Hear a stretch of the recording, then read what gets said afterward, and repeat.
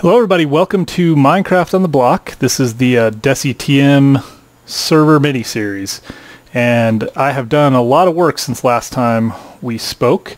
And what I wanted to do, I have to put a few finishing touches on the roof, so I thought I would go do that while you guys watch and I can talk a little bit about some of my plans. So you can see I actually, this would be a good way to show the pool.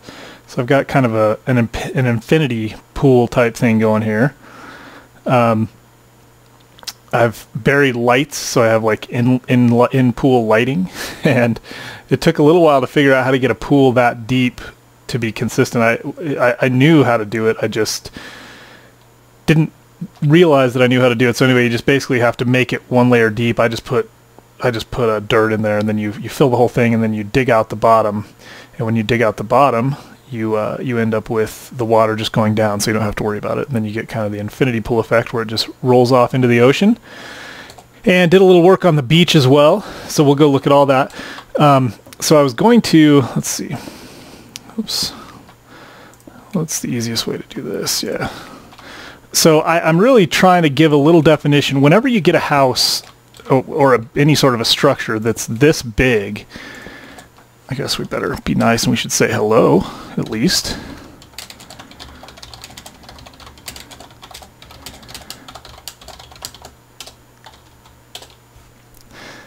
All right. So whenever you get a structure this big and just kind of blocky, you have to be really careful um, about putting uh, putting some details on it to give it a little bit of depth and and you know especially you have a big flat wall.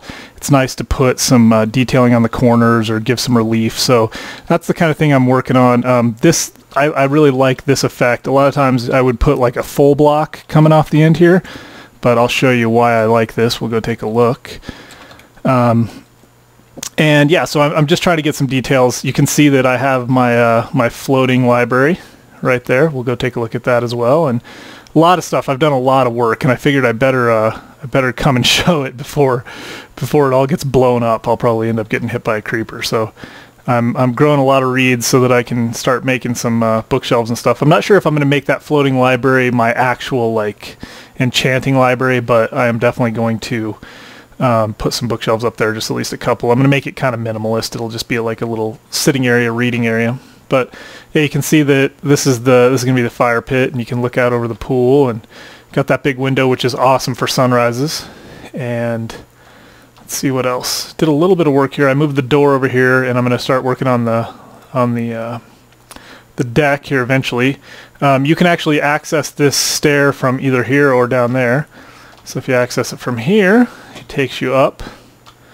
And I will have to step back and look at this. I don't I don't love it. I, I am very picky about. I would I haven't ever found a real a good spiral staircase design that I love, but this one's okay. Especially since we gave ourselves such a big room. So this is going to be the the floating kind of library. I'll probably put a table and a little sitting area and you know whatever. I'm not sure uh, some some bookshelves. I was thinking about kind of maybe putting some bookshelves up there, but I don't I don't think I'm going to like that. So probably put a couple of bookcases around and a little table and just kind of make it a little minimalist and put a little lamp or something, and I'm not sure. So anyway, I like this. Um, obviously a pretty nice view, so let's go check out the window design. Um, yeah, and because of all the fence that I used and stuff, it gets a little catchy if you're not careful. But so yeah, so this is the final, probably the semi-final design. So you can see the window design is is a little bit different than what I had planned on originally. I don't know if I described that, but there's the spiral stair. It's not horrible. I've seen worse. I've made worse, but yeah, it's it's okay. In a big room like this, it ends up looking all right.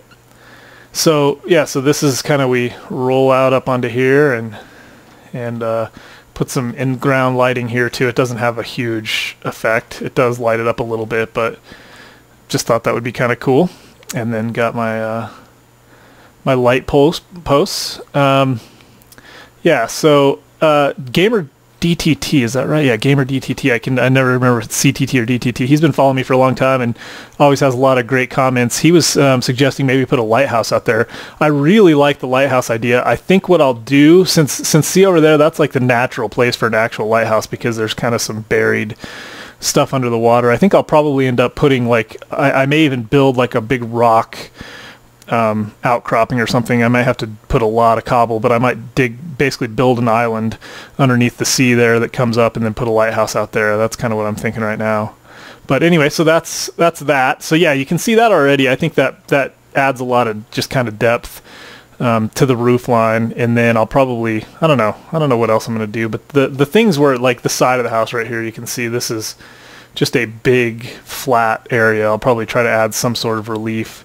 That is one of the things I really like. I always say that I miss something about Technic Pack. I really like the RedPower 2 stuff, the ability to chop blocks down and make, you know, a lot smaller um, little pieces of detail. But anyway, so this is, you know, this side is just, I don't love it. This is probably my least favorite angle for the house, but, and I might do a little kind of overhang here, some gables or something. So um, you can see right there, that's going to be the uh, entrance to my cellar slash mine. There's another entrance inside right under the stairs.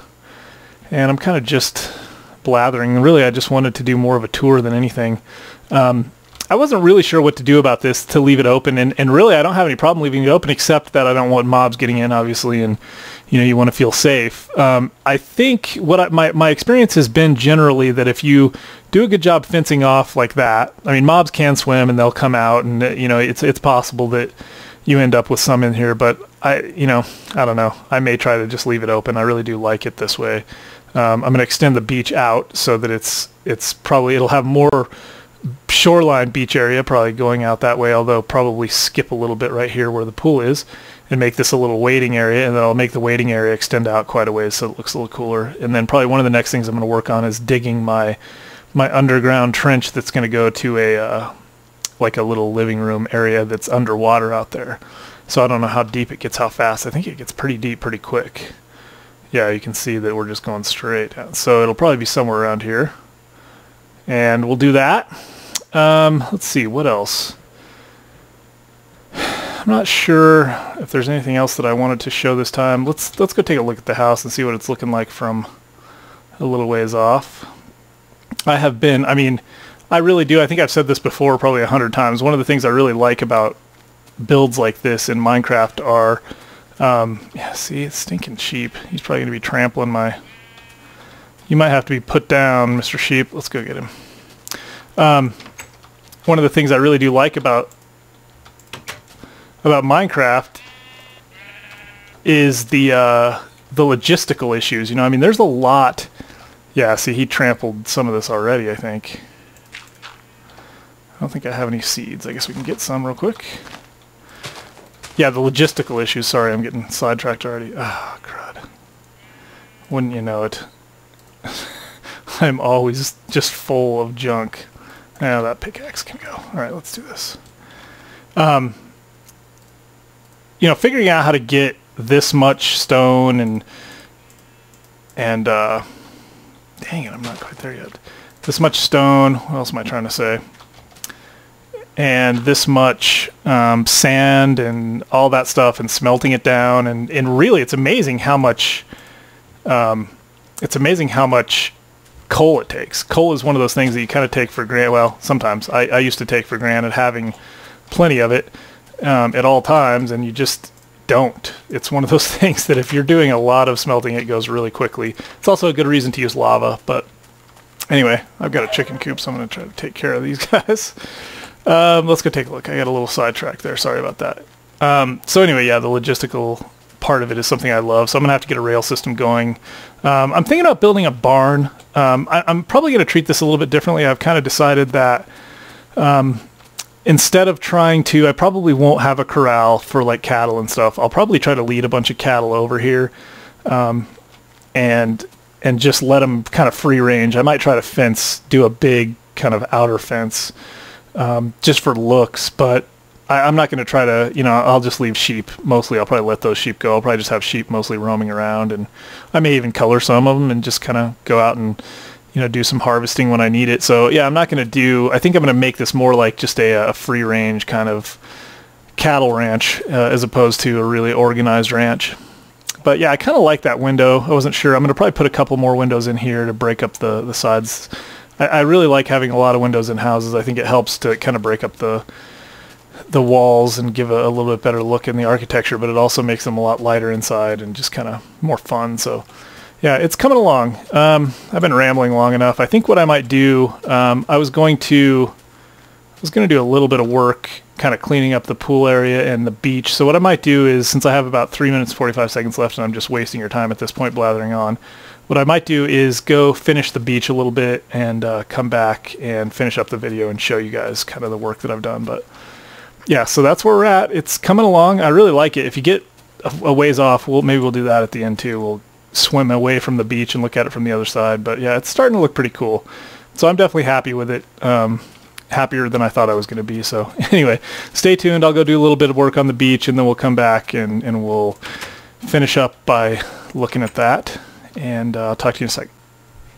All right, guys, I'm back. You may wonder why I am wandering around out in the middle of nowhere with no clothes and no